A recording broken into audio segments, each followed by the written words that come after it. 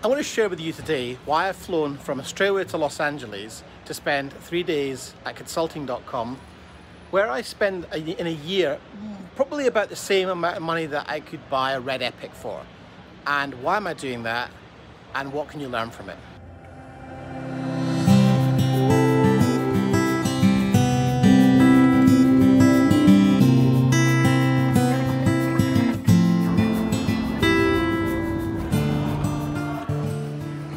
Why have I flown all the way to Los Angeles to come to a business event? I think it's really important that everyone has a coach and a mentor. And I am not out with that realm. I coach filmmakers for a living in how to run their business better. But I do it from a place of not just experience, but also from a place of working with some of the best coaches and mentors in the world so that I'm up to date with what's happening in YouTube ads, what's happening with TikTok, what's happening with Facebook, and what's happening with coaching in general. And so I am a member of a coaching program here in the US, a guy called Sam Ovens. And so the Quantum Mastermind. There are 100 businesses in this mastermind. It's 36,000 US dollars a year. I've just spent another six or seven thousand dollars on this trip to come to America. Why do I do that? Well, because I, I want to continually have an edge. I never want to rely solely on what I've already learned. The power of a great mastermind is not just the person who's teaching the mastermind, who's sharing his or her wisdom or knowledge on what they're finding is working just now, but it's all of the people in the room. Now, I spend every other week for uh, the last year on a call with these really smart business owners it's two hours a week. And I pick up so many notes, so many little bits, which I then share with my mastermind if it's relevant. A recent one was the introduction of short form ads on YouTube. Now, I learned that way before it was public knowledge and shared it with my mastermind, VBA Elite Masterminders in the group.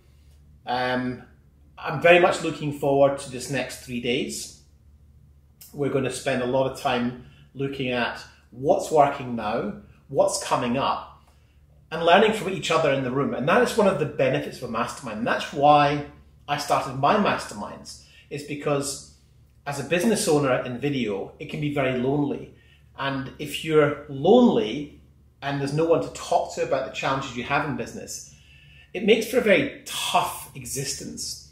And if you add to that the long hours you're working, delivering client projects, technical problems, internet problems, gear problems. It really helps to um, have people to talk to. And I was just actually on the plane over looking at some testimonials we'd recorded in Edinburgh and listening to the stories of my members and how where they were a year and a half ago and where they are now and how they overcame their own resistance to coaching or they overcame their skepticism to it and they all shared that the training alone was worth the investment, but the, the icing on the cake was the people they met, that they interacted with, and who they were able to form relationships with and build friendships. But more than that, being in a room each week virtually with people going through the same problems. And that is why I have invested, I think at the last count it was about $230,000 in masterminds it's probably coming up for 300,000 US dollars now in masterminds over the last 10 or so years. And everyone I know who's successful in business either has a coach or a mastermind group that they meet with regularly to gain perspective on what they're doing in their business and if they're doing the right thing or they could be trying something differently. And the other thing that's powerful about masterminds is the shortcuts.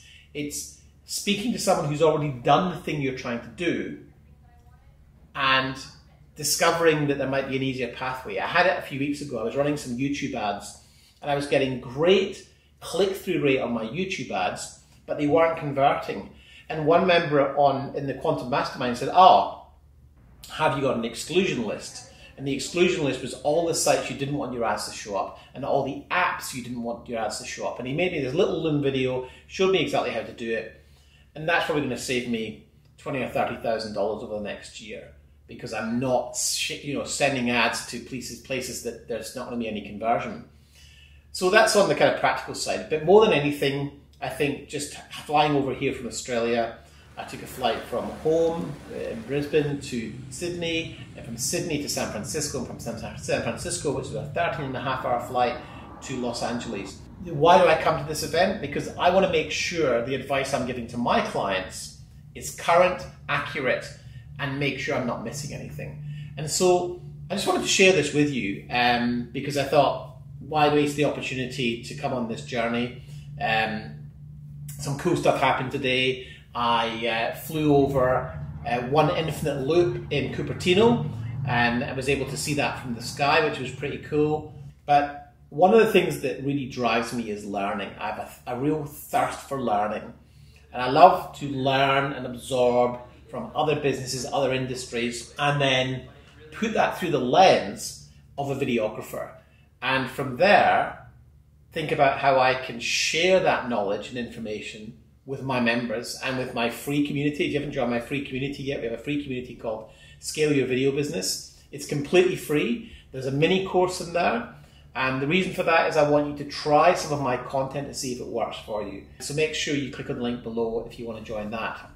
So one of the things that I love most about coming to events is the fact that I get away from the office, away from the business. I'm here in El Segundo in LA. It's Sunday morning, the sun is shining. You can hear the airport's just over here.